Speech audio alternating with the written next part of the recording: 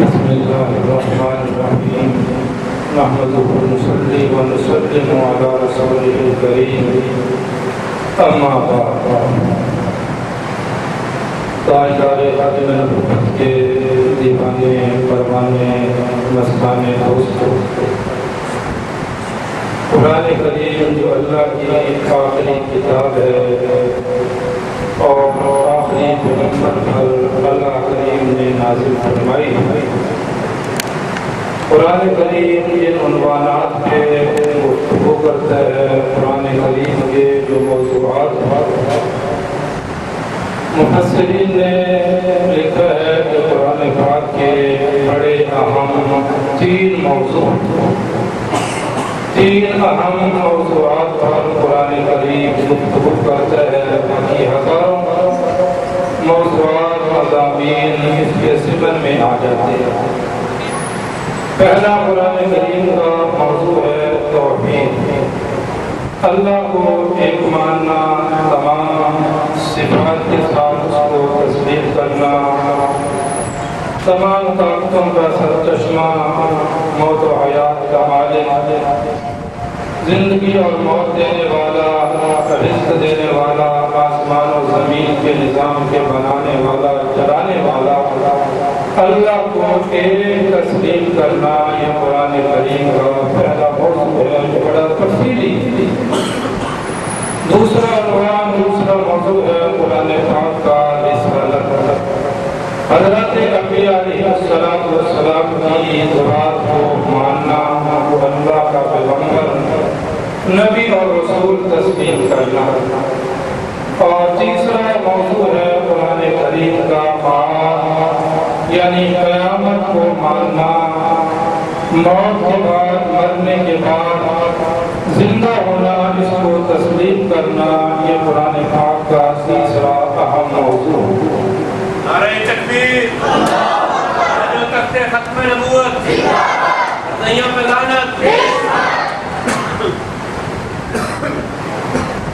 قرآن کریم کا دوسرا موضوع مسئلہ رسالت ہے۔ ہم سب کا یہ عقیدہ اور ایمان ہے، ہم تمام انبیاء علیہ السلام والسلام کو اللہ کا سچا سچا پیغمبر تسلیم کرتے ہیں۔ جتنے بھی انبیاء علیہ السلام والسلام دنیا میں تشریف لائے جن کی کم و بیش تعداد ایک لاکھ چوبیس ہزار عام پہ بیان کی جاتی ہے۔ ایک لاکھ چوبیس ہزار انبیاء علیہ السلام کو ماننا یہ ضروریات دین میں سے ہے، عقائد اسلام میں سے ہے، اس کو تسلیم کرنا ضروری ہے۔ صرف اتنا اجمالی ایمان لانا کہ جتنے بھی اللہ نے پیغمبر بھیجے ہیں۔ وہ ایک لاکھ چوبیس ہزار تھے یا اس سے کم تھے یا اس سے زیادہ تھے۔ ہم تمام انبیاء علیہ السلام کو اللہ کے سچے نمائندہ تسلیم کرتے ہیں۔ اور پھر ان انبیاء علیہ السلام والسلام میں سے ایک جماعت وہ ہے جن کو رسولوں کی جماعت کہا جاتا ہے۔ نبی اور رسول میں بھی فرق ہوتا ہے۔ نبی عام ہوتا ہے، رسول خاص ہوتا ہے۔ رسول تو اسے کہتے ہیں کہ جس کو اللہ تعالیٰ نئی شریعت اور نئی کتاب عطا فرمائے۔ اور نبی عام ہوتا ہے چاہے اسے نئی کتاب، نئی شریعت مل ہو، یا وہ پہلے نبی کی شریعت کے تابع ہو، تو نبی عام ہوتا ہے، رسول خاص ہوتا ہے۔ کل انبیاء کی تعداد تقریباً ایک لاکھ چوبیس ہزار ہے اور رسولوں کی تعداد تقریباً تین سو تیرہ بیان کی جاتی ہے۔ تو تین سو تیرہ رسولوں کو بھی ہم مانتے ہیں۔ اللہ کا سچا سچا رسول پیغمبر نبی ان کو تسلیم کرتے ہیں۔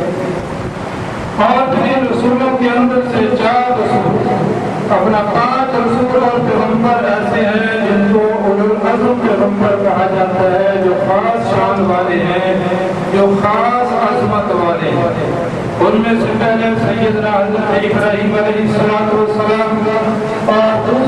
اور العظم پیغمبر ہیں سیدنا نوح علیہ السلام اور تیسرے پیغمبر ہے جناب حضرت موسیٰ علیہ السلام اور چوتھے پیغمبر ہے جناب حضرت عیسیٰ علیہ السلام اور پانچویں پیغمبر اور رسول ہے جناب حضرت محمد رسول اللہ صلی اللہ علیہ وسلم اور پھر میں بھی تمام سے زیادہ بقیہ چاروں سے زیادہ تین سو تیرہ رسولوں سے بھی زیادہ مرتبہ ایک لاکھ چوبیس ہزار انبیاء کی جماعت میں بھی سب سے زیادہ مرتبہ ہے۔ جناب محمد رسول اللہ صلی اللہ علیہ وسلم کی ذات گرامی کا۔ آپ کو اللہ کا رسول ماننا بھی ضروری ہے، آپ کو اللہ کا پیغمبر اور سچا نبی ماننا بھی ضروری ہے۔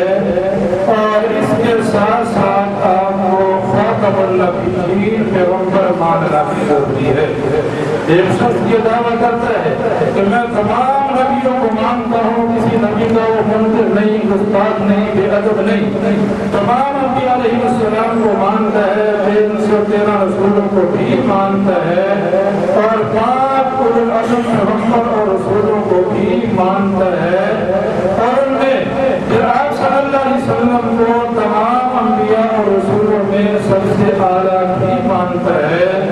لیکن آپ کو خاتم النبیین تسلیم نہیں کرتا تو وہ شخص بھی ایمان والا نہیں ایماندار بننے کے لیے بھی آپ صلی اللہ علیہ وسلم کو خاتم النبیین ماننا ضروری ہے۔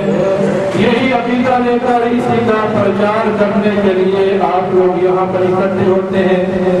علماء کی اپنے تعلیم کی گفتگو سماعت فرماتے ہیں اور پھر اسی حوالے سے آپ کام کے اندر مصروف رہتے ہیں آج کا یہ ہمارا ماہانہ اجلاس تقریباً دو ماہ کے بعد ہو رہا ہے۔ اس حوالے سے بھی یہ اہمیت کا حامل ہے کہ آئندہ جو ہمارے پروگرام ہونے والے ہیں، جو برسوں کی مشاورت کے اندر طے ہوئے ہیں کہ یہ دو مہینے جولائی اور اگست۔ دفاع ختم حکومت و دفاع پاکستان کے عنوان سے ہمارے پروگرام انشاءاللہ ہوں گے۔ اور آج کا یہ پروگرام جو ہمارا مرکزی دفتر میں ہو رہا ہے، اس سلسلے کی پہلی تاریخ آئندہ کا پروگرام انشاءاللہ جامعہ مسجد حنفیہ رحمان پورا نمبر دو مولانا محمد اکرم عابد رحمت اللہ علیہ کی مسجد کے اندر انیس جولائی کو ہوگا دفاع ختم حکومت و دفاع پاکستان یہ پروگرام انیس جولائی کو مولانا اکرم عابد رحمت اللہ علیہ کی مسجد میں ہوگا اور پھر آئندہ پروگراموں کا اعلان بھی انشاءاللہ وہاں پر کر دیا جائے گا پھر اس کے بعد ستمبر کا مہینہ شروع ہو رہا ہے تو ستمبر کے شروع میں سات ستمبر جس دن قادیانیوں کو غیر نسل اقلیت قرار گیا انیس سو چوہتر کے اندر ہم ہر سال یہ ریلی نکالتے ہیں، تحفظ ختم نبوت روڈ کا نکالتے ہیں۔ تو انشاءاللہ سات ستمبر کو بھی اس سال بھی انشاءاللہ یہ تحفظ ختم نبوت روڈ پر وہاں اپنی آپ کے ساتھ انشاءاللہ مرکزی دفتر سے ہوتا ہوا اپنے متعلقہ دوران کے مشاورت سے طے ہوں گے انشاءاللہ یہ روزگار باقی نکلے گا اور انشاءاللہ یہ کامیاب ہوگا آپ نے اس کے لیے دعائیں بھی کرنی ہے محنت بھی کرنی ہے پھر اسی کے مہینے کے آخر کے اندر ہماری سالانہ جو کانفرنس ہوتی ہے، اس کی تاریخ اور دن بھی الحمدللہ طے کر دی گئی ہے اور وہ تاریخ ہے چھبیس ستمبر بروز جمعرات بعد نماز عشاء چھبیس ستمبر کو انشاءاللہ ہماری یہ سالانہ تحفظ ختم کانفرنس ہوگی آپ حضرات نے اس کانفرنس کے لیے بھی ابھی سے جو جدوجہد محنت اپنی شروع کر دینی ہے اور خصوصی طور پر اللہ کی طرف رجوع دعاؤں کا اہتمام کرنا ہے کہ اللہ کریم ہمارے ان تمام پروگراموں کو کامیاب اور کامران فرمائے اس کے لیے آپ حضرات دعائیں فرمائیں گے ساتھ ساتھ محنت بھی کریں کوشش بھی کریں دوسرے احباب کو انشاءاللہ ہمارے یہ پروگرام کامیاب ہوں گے، اللہ کریم ہم سب کو توفیق عمل نصیب فرمائے ہم بلا تحریر حضرات اور بھی موجود ہیں، لیکن ہم سب کے سید و سردار جو ابھی حال ہی میں چند دن پہلے مملہ اور مدینہ کی پہاڑوں سے ہو کر آئے ہیں قدرت شکرہ کا سائے میں رہ کر آئے ہیں۔ اور وہاں کی پہاڑوں کو دیکھا، وہاں کے نظاروں کو دیکھا، اللہ کی رحمتوں کو روکا۔ آپ نے اگر سے ابھی بیت نہیں دیکھا ہے لیکن بیت کو دیکھنے والے کو تو آپ دیکھ رہے ہیں۔ ان کا جو خطرہ تھا، اگر سے ابھی انتظار نہیں ہوا۔ لیکن انہوں نے اپنی آنکھوں سے دیکھا ہے۔ آپ انہیں کا دیدار فرما لیں۔ بلا تاکہ میں دیتا ہوں۔ اپنے استاد محترم ثانی صاحب کا حکم ہے مولانا صلاح